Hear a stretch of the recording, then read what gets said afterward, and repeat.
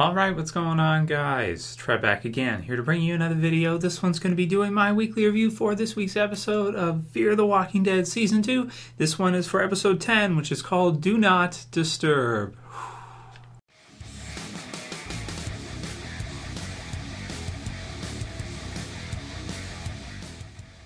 And spoiler warning, if you guys have not seen this week's episode yet, you definitely want to watch it before watching this review no complaints this week. This episode was fantastic. I was very happy near the end of this episode because this one for me, after two episodes, but you know, it's it's kind of the formula that um, we've talked about in Q and A's a little bit, which is that fear sometimes is a little bit of a slow starter. Certain parts of the story, you know, you, you, you have some slower parts, but then it really builds up and it has some awesome stuff in it. So uh, this episode to me was an, an, excellent episode. This is one of the best I think uh, they've done when you look at it character wise. I mean, the things that happen in this episode and the divide that happens between Travis and Chris at the end of this episode.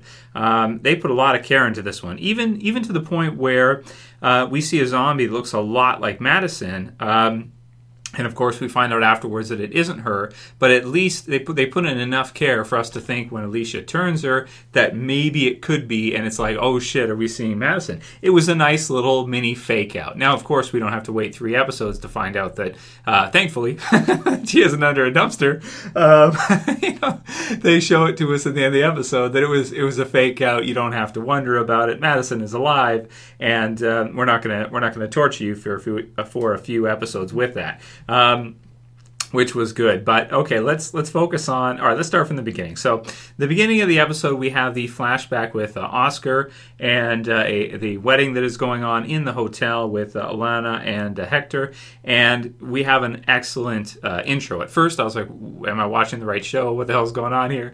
Uh, but then we can figure out pretty quickly. Okay, it's some kind of flashback. It looks like it's in the hotel, and okay, what's what's going to happen with this? Are these characters going to be important? Why are they showing it to us? And love the intro love the music. They switch out the music in the intro, so it's not always the same, which I think is really cool. And also, the intro for Fear is pretty short. It's just like burn, burn, and shows you the fear, uh, kind of dripping and dark and everything. Uh, Atticus uh, Ross, I think, did that first season. Uh, he, he's incredible. Nine Inch Nails, love Nine Inch Nails, love uh, the scores that he does with um, with um, Trent Reznor, some of the best scores in movies in that. Gone Girl, for example, some of the other ones. He's amazing. So the music is awesome. Love the intro. thought it was really good to kind of get us to uh, understand this character, Alana, her backstory, rather than her just being some random person we run into. She's actually got a backstory. The hotel is, she's kind of got ownership over the hotel. She's uh, seems to be the one who was running it, this kind of deal. You've got Hector as well, too. And they had an interesting system going here in the hotel, which uh, one of the things I like most about this episode, it doesn't feel, it feels totally fresh. It doesn't feel like anything we've seen in The Walking Dead. It doesn't feel like anything I've seen before in any zombie apocalypse movies or anything. It's totally fresh. Their system, or what they do, is completely new. They maze trap the zombies in. So they know the terrain so well, they know the hotel so well, they've been able to survive there and do well all this time by pretty much systematically luring the walkers in and then locking them out and then you know using their knowledge to uh, not have to kill them, but to actually be able to outmaneuver them and survive for a long period of time since the outbreak, just simply by using their intelligence and kind of doing like a puzzle game. If you ever played like a puzzle video game, something like this, uh, maybe you know free games on Facebook or whatever. There's lots of addicting games and stuff like that. Puzzle games that would remind you of this kind of system where you would kind of lure them in, block them out, go around, and then when you get need to get to where you want, and just really smart. Um, so I, thought that was a really interesting way to go, and I like uh, how the flashback sequence made us understand, you know, right off, right away, how these uh, two groups you have, um, you know, Hector and Alana, and the others with the wife, the surviving wife of the daughter and husband who were killed at the wedding, are kind of uh, in a in a conflict here at the hotel, and now Madison and uh, the other Strand and and uh, and um, Alicia coming in are kind of in the middle of this. So you have two groups at odds with each other, and then you have, of course, all the zombies uh, mixed in. So I, I thought the intro was awesome. I really like this new uh, kind of uh, feel from the the hotel being a new landscape we've never seen anything like before in the zombie apocalypse, really. And you know, I, I, I liked it. I thought it was really intriguing, really interesting, very very very well done. We had a new Negan clip, I Am Everywhere, so that was cool. They're giving us just little bits and pieces here and there. Uh, we haven't had as many promos this year as we usually do because of the cliffhanger for Walking Dead. But, uh, you know, I Am Everywhere, it's, it's a nice little clip, and it gives you a little something each week. You can watch Fear, you can get a, a, a nice little three second clip from The Walking Dead. Uh, it's enough, I think, uh, for, for many people to tune in. So that was cool in the commercials. Um, then we have uh, Travis and Chris, who are pretty much Chris saves the guy, but then he takes the food and then he bolts, and then they Travis using his skills because, as I said before in the strongest survivor video I did last week, I do think Travis is one of the best, the strongest survivor, one of the best out of everybody there. And if you look, if you watch this episode carefully and you hear the things he's saying, he is very intelligent. You could even argue he's maybe the most intelligent character we have met so far in any of the Walking Dead series. I mean, all the things he's saying are way ahead of his time in terms of uh, where he's at and what he's doing. Uh, he's talking about, you know, taking the high ground, right? Your, your art of war, high ground, right? Very smart.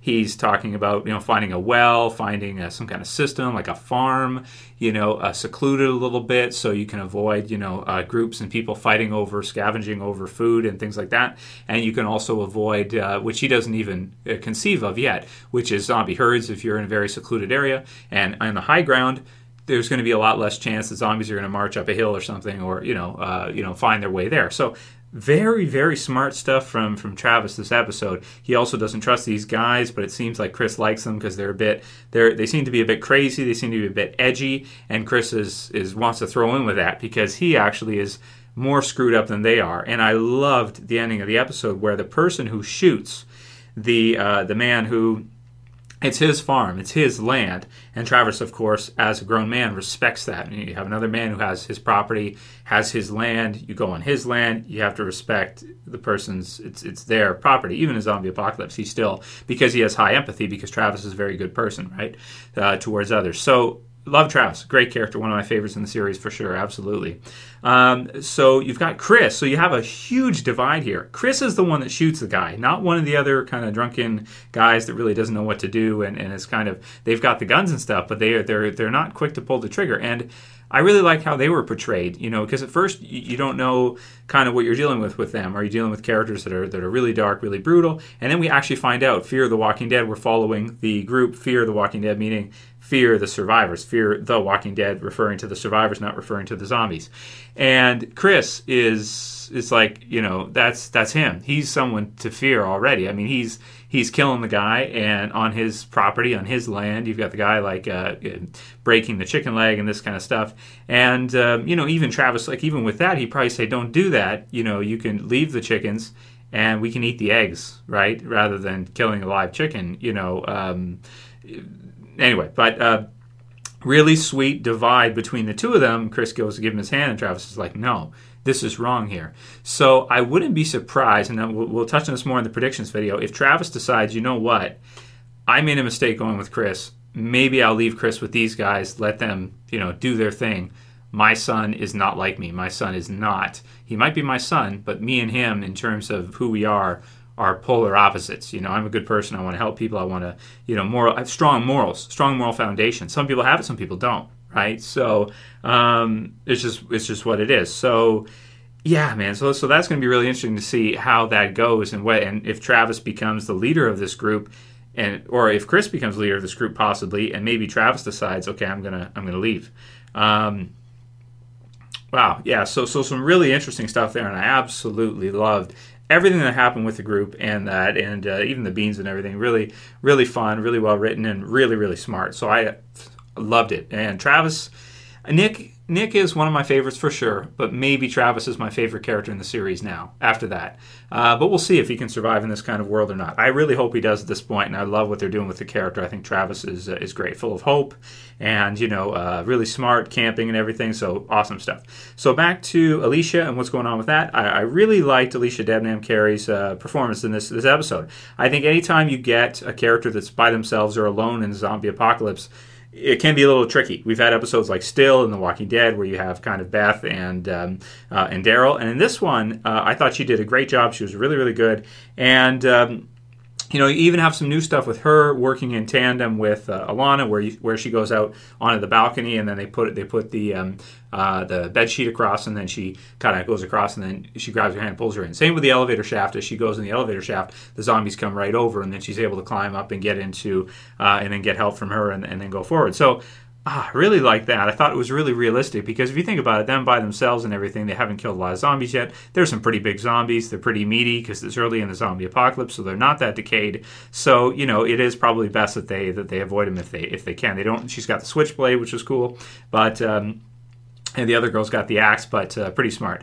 So, uh, man, so really liked all of that. Thought that uh, everything was good there. Let's see, they called them the Wasted, which I thought was kind of funny. And uh, man, yeah, I think that's uh, that's about it. So I thought the hotel was a cool uh, a cool place to see.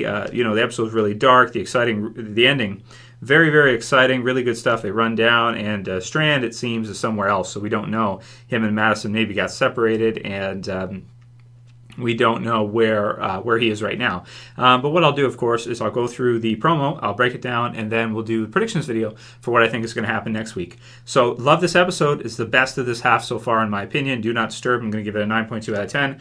I thought it was amazing all the way through. I thought it was original. I love the development between Chris and Travis. Thought Alicia was really good. I like the new characters, and all around it was a killer absolutely killer episode. It, it, was a great episode for Fear. We need more episodes like this, and I think Fear can stand on its own as, as a great series by itself if we keep getting stuff like this one. Excellent episode. Excellent. So, um, yeah, that'll be it for uh, my review for this week. I'll see you guys back again uh, in about an hour for the uh, the predictions as usual write your comments below, guys. What did you think about this uh, this week's episode? Did you love it as much as as I did?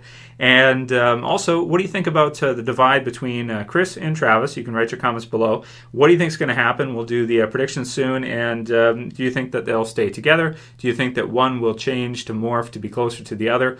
Or how do you think this is going to go? So write your comments below, guys. And if you like the review, as usual, guys, please, please thumb it the shit up. Thumb it up. Uh, you can also share. You got a Facebook. Click share below. Share through to Facebook. I also appreciate that. And uh, if you're new, subscribe. Bottom left to to sub. Um, yeah, that'll be it for this one. I'll see you guys back again soon for the predictions. Uh, thanks for watching, guys. I hope you liked it. As always, it's Trev, and I'm saying peace. Later, guys. See ya.